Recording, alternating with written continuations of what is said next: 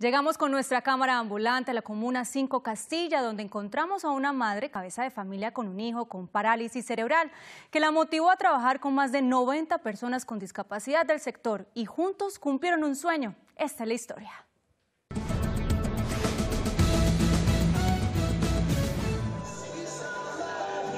Paula es habitante de la Comuna 5 Castilla. Es madre cabeza de familia y de un hijo con parálisis cerebral lo que la motivó a trabajar por las personas con discapacidad.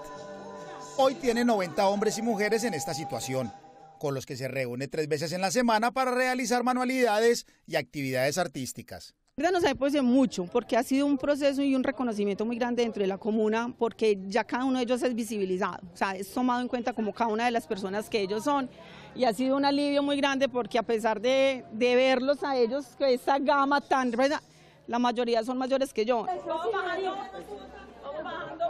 Cada cita es una fiesta de talento y alegría. Tejen, pintan y bailan.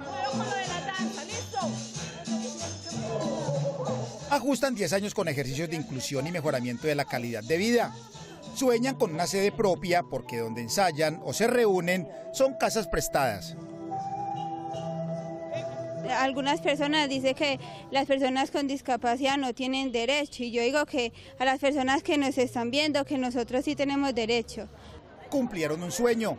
Participaron por sexta ocasión consecutiva en la versión 20 del desfile de mitos y leyendas del barrio Castilla. A mentirlo, eso es lo que quiero, mi vida.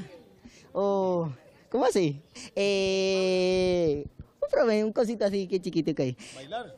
Sí, bailar sí, sí, bailar sí. Paula es el alma del grupo. Los anima. Y los estimula a recrear con música y comparsa hasta sus propios vecinos. Y con mensajes de inclusión y superación, asegura que seguirá cumpliéndoles los sueños a este grupo de creativos y pintores. Qué linda.